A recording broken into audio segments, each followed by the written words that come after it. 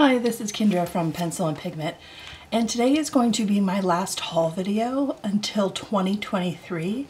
I'm doing a no-buy art supply in 2022, so I just want to show you the very last things I have picked up and maybe why. So back in 2019, I decided I wanted to start documenting all the ways that I create and do things towards my long-term goal of just being a better illustrator. So I bought this planner. It shipped from Estonia. I got this on Etsy. And I'll link everything down below in case you're curious. But the pages are a blank weekly spread. And then in the back, it's a dot grid. And I never realized how useful dot grids are for making charts and lists and I've been using it for all, I've done about six drawing challenges back to back. And so it's really helped me stay organized. So I needed to buy some planners for next year. And I opted to go with the Hobonichi Weeks. And I ordered this directly from them. So this shipped from Chiba, Japan. And this is the Techo Weeks. And it has the monthly spread in the front and then it goes to the week and then I'll probably do my designs and doodles on this side. And then in the very back I have things sort of divided out are blank graph paper grids. And this is just a very thin one. I got the one that's tie material. It's literally made out of neckties and it's tigers with little tiny red parrots. And these ones are on the tail. And I got the cover because my desk is always messy from drawing so that is what I bought to get me through 2022. And then I went on Archer and Olive back in May because I wasn't sure if I was going to burn through all of the dot grid on this one. And I bought this huge one that's snakes. So this is what I'll be using to for lists and drawing challenges to keep me organized. And I'm really hoping this lasts for at least two to three years. I got the extra thick one. And I love snakes, they're beautiful. So because I am not going to be purchasing anything in 2022, I'm going to need something for 2023. And I got this from Galen Leather, and this actually shipped from Istanbul, Turkey, and this is that Tomoe River paper, and it's completely blank. So I figure we're gonna get real weird with it in 2023, and I look forward to that. And if you're noticing a theme, I'm having a bit of a, a green a green phase in my life. Um, we also homeschool, thank you COVID. And I have a traveler's journal. This is kind of a knockoff one that's more affordable, but we're on our third um, edition of the blank monthly calendar. And this is awesome. It has about a dozen blank pages in the back and then blank monthly pages inside. And this has been perfect for keeping track of our homeschool records. This is about as small as I can go and about as big as I want to store long term. So this has been wonderful and this is super customizable with all the different inserts and things you can use. Now let's get to the art supplies. So I wanted to buy some better light fast watercolors. This is a tin I got off Etsy. Again, clearly going through something something green. Something green. And I purchased from Cheap Joe's. They were having a sale. And I apologize if you suffer from the dysphonia, the repetitive noises. I had that one too. oh my goodness, everything is so sealed.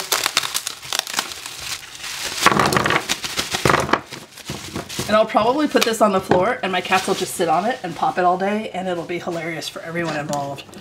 So here are tons and tons of light fast watercolors I got for mixing and color theory, commissions, gifts. As you can see, it is a variety of companies.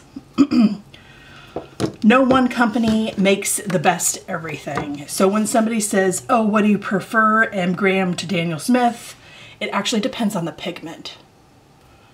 Um, I'm one shy. I ordered one that they didn't have in stock, but they'll ship to me when it arrives. I will be putting these in pans and combining them to create some really interesting colors. Um, here's Viridian, Lunar Black, and Imidazolone Lemon. This is Manganese Blue Lake. This is Da Vinci Red, Lunar Earth, Quinacridone Coral. This is cyan blue. This is the bluest blue you can kind of get. Here is Cobalt Teal Blue. Here is that Maimeri Blue, um, and this is Potter's Pink. Here's the Horadam Aquarelle. I have these in a pan. Here is Ultramarine Finest. Um, here is, uh, this is Helios Purple. Here is uh, French Ultramarine. Here is Nickel Azo Yellow and a Burnt Umber. So I will be using these in videos coming up to show you really cool combinations of some of the convenience colors that are hues, which are more than one pigment in the tube. Those aren't light fast, so I'll be showing you light fast ways to make some of those convenience colors that are beautiful. So this was a couple hundred dollars, legitimately. But I'm really hoping these last a full five to six years and they will more than pay for themselves with commissions on Etsy and things like that. So these are the watercolors. I purchased some more polychromos in colors I use a lot of. So that it's the 10% warm gray, the cream. I have a sepia, I believe, a walnut brown, Hmm. This blue I use a lot of. This is cobalt turquoise and then indigo. So I got two colored pencils. I got more of the A6. These were from Amazon. These are the Leuchtturm 180 gram and they discontinued their 180 gram paper. But I went through two of these this year. One I did insects and hand lettering and the second one I've done fungi mushrooms.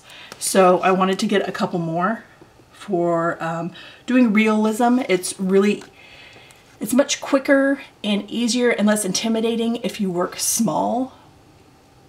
Do a really, really small size and as you can see this is about the size of my hand. So I really like, the paper is not the highest quality, but I like the size and I really like the color cover. I have a thing with color. I love color. I also got, this is the Stillman Birn beta series. So this is the 270 gram white paper that's cold press. And you can see the chart on the back of which ones are the 270. So the green one that's Delta is ivory. Um, the Zeta that's purple is hot press, it's smooth, but also white paper. And I have a couple others of these. I'm just not sure because I'm going through this year about eight sketchbooks. I'm trying to make sure that I have at least eight for next year. I'm, my goal is going to be probably to go through 10 because the A4 size is so huge that I can do two drawing challenges in one huge A4. But that'll be my goal. And then I got this. This is an Etchr. It's a watercolor. And as I won't be using these in here. These will be on my 600 gram Arches paper for commissions, but let's see if I can open this up with my with my nails today. There's a seam I can get to. Oh, let's grab some scissors. Anyway, I got the cold press. I've never used Etchr sketchbooks before, but they're 100% cotton, and I really like that. So It's a lot of plastic. hmm. Can she get inside the box? Okay. And within there is another plastic. So this is, you can see a little tiny camel stitched in. This looks like linen cover. And I probably will paint on this linen cover and do some sort of wash and add color to it. But this is my last art supply haul. This is the last of my organization for everything. This is the last for planners, for everything. So everything I have has to last through to January of 2023. I think I have enough stuff. I, I'm in good shape. I really, really look forward to the challenge. And I've done a video as to why I'm doing a no buy art supply. And I've done a video as to the rules of my no buy art supply and those are pretty strict. I'll link those videos down below. This Sunday, I'm going to do a video that is my temptations. Like what are the things that absolutely make me click and buy and keep searching and exploring and wanting to purchase. And there's some things that I think we may have in common and there's some things that are probably just exceptions to me maybe. And then there's some things that I had to like go through my bank statements and really analyze and go, that's a temptation and I didn't even acknowledge that. Like it didn't even occur to me. So I definitely have some like places where I go and purchase things that lead me to buying more art supplies. So that's absolutely fascinating. So I look forward to that video Sunday. Well, I hope you have a wonderful day and I will talk to you all tomorrow. Bye.